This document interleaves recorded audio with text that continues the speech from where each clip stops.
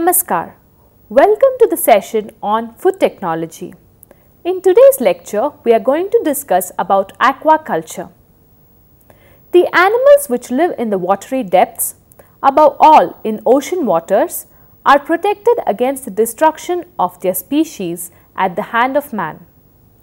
Their reproductive rate is so large and the means which they have to save themselves from his pursuits or traps are such that there is no evidence that he can destroy the entire species of any of these animals. Jean Baptiste de Lamarck, 1908. Aquaculture involves cultivation of freshwater and saltwater populations under controlled conditions. In India, two types of aquaculture are in practice that is freshwater aquaculture and brackish water aquaculture. Freshwater aquaculture involves the breeding of freshwater fish like carp, katla, rohu, magur, freshwater prawn, freshwater pearl culture as well as ornamental fish farming. Brackish water aquaculture has more salinity than freshwater but less than seawater. It is practiced in states like West Bengal, Andhra Pradesh, Kerala and Goa Fish farmers use a mixture of oil cakes, rice bran, locally available snail to feed the fish. The water in which fish are farmed is important for the development of a good harvest. The farmer should monitor the level of water quality that is hardness, acidity or alkalinity, contaminants, industrial chemicals and pesticides which are present in the water. They should also see that there is enough dissolved oxygen in the water for the survival of aquatic animals. Common chemicals used in aquaculture are EDTA, which is ethylene diamine tetraacetate, disodium salt for removing water hardness, sodium nitrate for algae formation, ammonium chloride for boosting water fertility and formaldehyde a bactericide. Aquaculture and fisheries can meet the huge demand for nutritive value food it contributes. It contributes 50% of total animal protein consumed in Indonesia, Japan, India, Sri Lanka, Bangladesh and Cambodia. Fish oils contain the omega-3 fatty acids, eicosapentaenoic acid which is EPA and docosahexaenoic acid which is DHA precursors of certain eicosanoids that are known to reduce inflammation in the body and have other health benefits. The omega-3 fatty acids in fish oil are thought to be beneficial in treating hypertriglyceridemia and possibly beneficial in preventing heart disease. Fish oil and omega-3 fatty acids have been studied in a wide variety of other conditions such as clinical, anxiety, cancer. Dear students, in today's lecture, we will discuss about aquaculture, the history, what is aquaculture, types, benefits and conclusion. Abbreviation used in the test EPA, eicosapentaenoic acid, DHA, docosahexaenoic acid, EDTA, ethylene diamine tetraacetate, BOD, biological oxygen demand, US, United States. Fish farm, locations used to grow populations of aquatic organisms, primarily fish. Fish hatchery, one form of a fish farm managed with the intent of resupplying native wild populations in natural environments. Ornamental fish are small fish such as koi which are typically grown to be kept in aquariums or small landscape ponds. Extensive aquaculture Managed aquaculture dependent on the local natural setting such as a pond or coastal sea area. Intensive aquaculture Managed aquaculture controlled through human engineered means such as managing water quality and sources of food. Fish meal commercially processed food source used in fish farming as a source of protein for the fish stock. Firstly coming to the history of aquaculture. In the last few decades, worldwide aquaculture production has increased significantly. More sustainable development alternatives are needed to ensure that in the future, aquaculture can contribute to the growing need for seafood products. The practice of aquaculture is very old. According to literature evidence that Egyptians were probably the first in the world to culture fish as far back as 2500 BC come from pictorial engravings of an ancient Egyptian tomb showing figure of fish fished out from an artificial pond. Writings in India made in 300 BC suggest means of rendering fish poisonous in the Indian subcontinent during the times of war. This shows that the fish culture prevailed in some Indian reservoirs and some historical documents written in 1127 AD describe methods of growing fish in ponds. Cultures of gangetic carps in Bengal in the Indian subcontinent is of historical origin. The Chinese carried with them their traditional knowledge of carp culture since many years and the Philippines fish culture has been done in brackish water ponds for centuries. Aquaculture was operating in China circa 2500 BC. Japanese cultivated seaweed by providing bamboo poles and later nets and oyster shells to serve as anchoring surfaces for spores. Fisheries in India is a very important economic activity and a flourishing sector with varied resources and potentials. India's aquaculture production basically can be classified into freshwater and brackish water production. There are 429 fish farmers development agencies that is FFDA and 39 brackish water fish farmers development agencies which is BFDAs for promoting freshwater and coastal aquaculture. Some of the important species cultured in India are the Indian major carps and shrimp. Besides these, ornamental fish culture and seaweed farming are slowly gaining importance in the aquaculture scenario in the last few years as alternative livelihood supporting sectors as small scale activities. Aquaculture, probably the fastest growing food producing sector, now accounts for nearly 50% of the world's food fish. Aquaculture is now fully comparable to capture fisheries when measured by volume of output on global scale. The contribution from aquaculture to the world total fish production of capture and aquaculture in 2012 reached 42.2% up from 25.7% in 2000. Asia is the only continent producing more fish that is 54% than capture fisheries. The share of aquaculture in total fish production also rose in all other continents with Europe staying at 18% and others below 15%. Geographically, tilapias are the most widespread species for aquaculture production in the world. Close to 140 countries and territories are now recorded for farming of tilapias in FAO database. Water source for aquaculture, rivers, lakes and streams. Large volumes, inexpensive but often excessive nutrients and potential for contaminants that is toxins and pathogens. Surface water, inexpensive but strong contaminant potential that is toxins and pathogens. Springs harbor few predators, no toxins or pathogens. Wells, no predators or pathogens. Low oxygen levels groundwater, hard to drain or remove fish. Municipal supplies, no predators but disinfectants such as chloramines. Seawater, plentiful but chemistry and pathogens variable. Alternative water sources, rainwater, free, unpredictable, only a supplement, often acidic, poorly buffered. City water, limited potential due to cost, also contains disinfectants, for example, chlorine.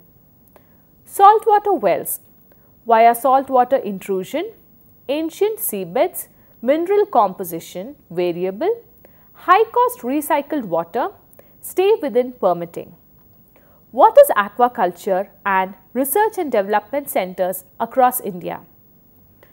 Aquaculture is nothing but breeding, rearing and harvesting of plants and animals in all types of water environments and it serves a variety of purposes. Aquaculture is also known as aqua farming which is the farming of aquatic organisms such as fish, crustaceans, mollusks and aquatic plants. Mariculture, fish farming, shrimp farming, aquaculture in Australia. Aquaculture produces food fish, sport fish, bait fish, ornamental fish, crustaceans, mollusks, algae, sea vegetables and fish eggs. About 567 aquatic species are currently farmed all over the world, representing a wealth of genetic diversity both within and among species. Demands of the consumer has increased. Aquaculture is practiced by both some of the poorest farmers in developing countries and by multinational companies. India ISO 9001 2008 certified institute. ICAR CIFA which is the Central Institute of Freshwater Aquaculture, Post Office Kaushalya Ganga, Bhubaneswar 751002. Regional Research Center, Central Institute of Freshwater Aquaculture, Indian Council of Agricultural Research, Bangalore. Regional Research Center, ICAR, Central Institute of Freshwater Aquaculture, which is ATIC building, Borsad Chowkadi, Anand, Gujarat 388001. Regional Research Center, Central Institute of Freshwater Aquaculture, Indian Council of Agricultural Research, Fish Feed Farm, Penamaluru, Poranki Post 521137, Vijayawada, Andhra Pradesh. Regional Research Center, Central Institute of Freshwater Aquaculture, Indian Council of Agricultural Research, A Bar 5, Phase 3, Santal Para, Post Office Kalyani, District Nadia 741235 West Bengal. Now coming to the major types of aquaculture. There are three categories of waters used for aquaculture that is freshwater, salt water and brackish water. Commercially cultured species are catfish, tilapia, trout, salmon, striped bass, oysters, clams and shrimps different kinds of aquaculture. As habitats of aquaculture, there are three categories of waters that is the fresh, salt and brackish. Fresh waters generally abounding in the inland areas of a country and the salt water of the seas and oceans are characterized by a wide difference in their salinities ranging from nil in the former to nearly 35 ppt in the latter. The difference in salinity within each category of water, fresh and sea, is restricted to rather narrow limits. Brackish water normally naturally occurs in deltas of rivers, lagoons and backwaters. The different kinds of aquaculture are running water culture, culture in recirculating systems, culture in rice fields, aquaculture in raceways, cages, pens and enclosures, hanging on bottom and stick methods of oyster culture and static water ponds. Aquaculture has a number of benefits, but if it is done without adequate environmental safeguards, it can cause environmental degradation. The main environmental effects of marine aquaculture can be divided into the following five categories. First is biological pollution. Fish that escape from aquaculture facilities may harm wild fish populations through competition and interbreeding or by spreading diseases and parasites. Escaped farm Atlantic salmon which is Salmo salar are a particular problem and may threaten endangered wild Atlantic salmon in Maine. In the future, farming transgenic or genetically modified fish may exacerbate concerns about biological pollution. Fish for fish feeds. Some types of aquaculture use large quantities of wild caught fish as feed ingredients and thus indirectly affect marine ecosystems thousands of miles from fish farms. Organic pollution and eutrophication.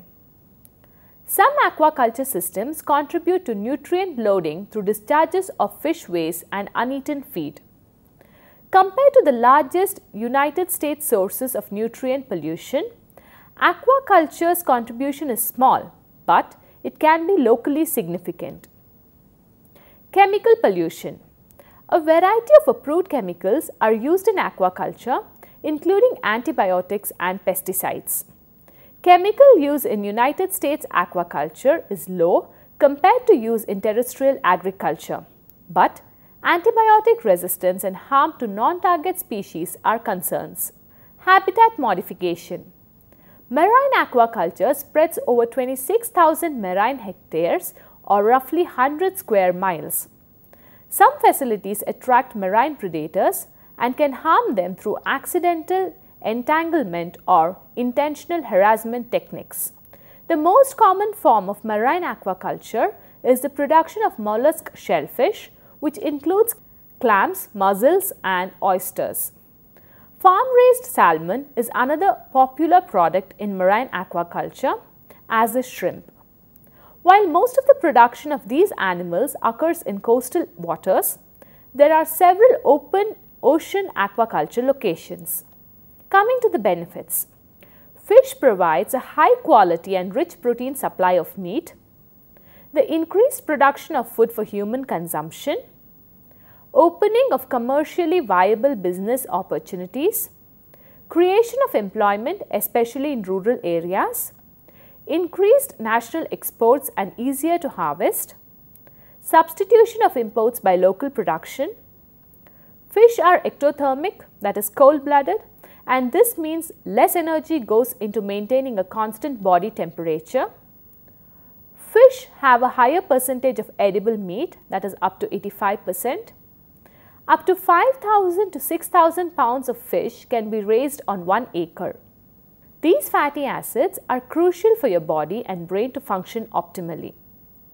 Fatty fish are also much higher in omega-3 fatty acids and are strongly linked to reduced risk of many diseases like serious neurodegenerative diseases like Alzheimer's disease.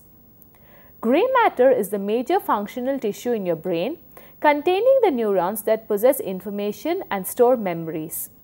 Since fish oil is a combination of two different fatty acids, these numbers reflect a combined total. Total eicosapentaenoic acid that is EPA and docosahexaenoic acid that is DHA consumption should come from a mix of real food and supplements. Fish oil can be taken throughout the day. To minimize the fish burp taste, take fish oil with meals. Pregnant women should increase their intake of DHA by at least 200 milligrams a day as long as there is no risk of elevated mercury levels. This includes the fat soluble vitamin D, a nutrient that most people are deficient. It functions like a steroid hormone in the body. Fatty types of fish are even more beneficial for heart health because of the high amount of omega-3 fatty acids. Omega-3 fatty acids are absolutely essential for growth and development.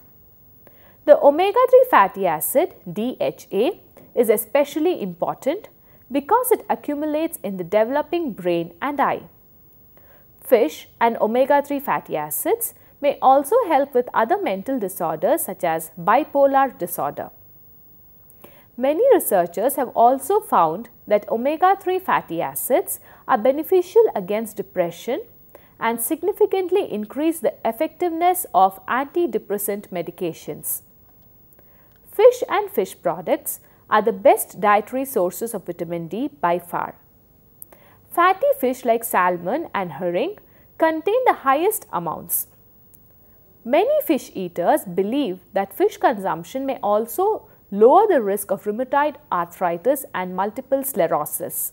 Economy Aquaculture plays an important role in the economy, providing thousands of jobs in operations and maintenance services. According to the Environmental Defense Fund, a non-profit environmental organization, global fisheries exports now earn more revenue than any other traded food commodity in the world. Many countries are heavily investing their resources into aquaculture in the world. Top 10 countries are listed below.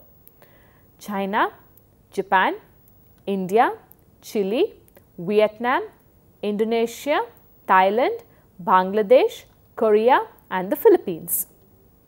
Impact of aquaculture Chemical inputs Excessive use of chemicals such as antibiotics, anti-foulants and pesticides or the use of harmed chemicals can have unintended consequences for marine organisms and human health.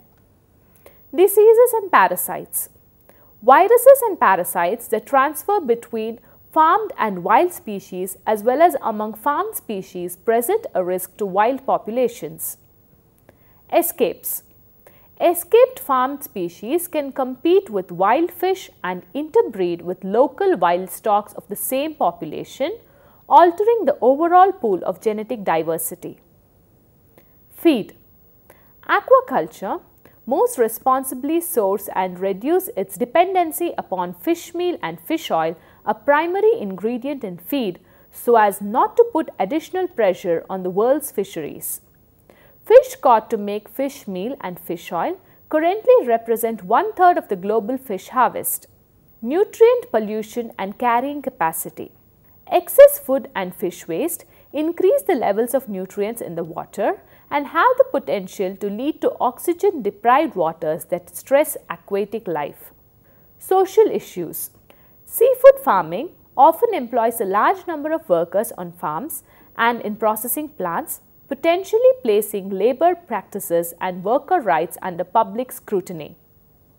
Additionally, conflicts can arise among users of the shared coastal environment. Health hazards, biotoxins. Many fish eat algae and other organisms that contain biotoxins, which are defensive substances against predators. Biotoxins accumulated in fish, shellfish include okadaic acid, saxitoxins, ciguatoxin and domoic acid. Both domoic acid and ciguatoxin can be deadly to humans. The others will only cause diarrhea, dizziness and a temporary feeling of claustrophobia. Allergens A seafood allergy is a hypersensitivity to an allergen which can be present in fish and particularly in shellfish. This can result in an overreaction of the immune system and lead to severe physical symptoms. Most people who have a food allergy also have a seafood allergy. Allergic reactions can result from ingesting seafood or by breathing in vapors from preparing or cooking seafood. The most severe seafood allergy reaction is anaphylaxis, an emergency requiring immediate attention. Importance of aquaculture Having defined aquaculture and mentioned some of the reasons which have contributed to imparting a fillip to aquaculture in recent times, it is proper to state the objectives of aquaculture. These are production of protein-rich, nutritive, palatable and easily digestible human food benefiting the whole society through plentiful food supplies at low or reasonable cost. Providing new species and strengthening stocks of existing fish in natural and man-made water bodies through artificial recruitment and transplantation. Production of sport fish and support to recreational fishing. Production of bait fish for commercial and sport fishery. Production of ornamental fish for aesthetic appeal recycling of organic waste of human and livestock origin. Land and aquatic resource utilization. This constitutes the macroeconomic point of view benefiting the whole society. It involves maximum resource allocation to aquaculture and its optimal utilization, increasing standard of living by maximizing profitability, and creation of production surplus for export that is earning foreign exchange especially important to most developing countries. Providing means of sustenance and earning livelihood and monetary profit through commercial and industrial aquaculture. This constitutes the microeconomic point of view benefiting the producer. In the case of small scale producer, the objective is to maximize income by greatest possible difference between income and production cost and in the case of large scale producer by maximizing returns on investment, production of industrial fish. Finally, coming to the conclusion, India is also an important country that produces fish through aquaculture in the world. India is home to more than 10% of the global fish diversity. Presently, the country ranks second in the world in total fish production with an annual fish production of about 9.06 million metric tons. Good quality of protein which is low in fat, better production to cost ratio, fish oil can reduce blood clotting and should be supplemented with caution if blood thinning medications such as aspirin, warfarin or clopidogrel are already present in the body. There have been significant increases in demand for fish and seafood in the United States and throughout the world. Aquaculture is a form of agriculture which involves the propagation, cultivation and marketing of aquatic plants and animals in a culture tank, pump culture tank, culture tank primary settling, chamber biological filter, schematic diagram for water recirculating systems, a basic overview of aquaculture, 9 more or less control environment, fish can consume more proteins than other animals and can efficiently convert nitrogen in feed into structural proteins in the body. The higher efficiency of nitrogen excretion in fish is another reason for fish to benefit from a bioenergetic point of view. According to the reports of the National Fisheries Development Board, Government of India, during 2007 and 8, India contributed about 4.4 percent of the global fish production. In India, fisheries sector contributed to 1.1 percent of the gross domestic product and 5.30 percent of the agricultural gross domestic product. Per capita fish availability had been 9 kgs and annual export earnings were 7.2 crores in INR. 14 million employment opportunities have been generated by this sector till 2008-9. Thank you.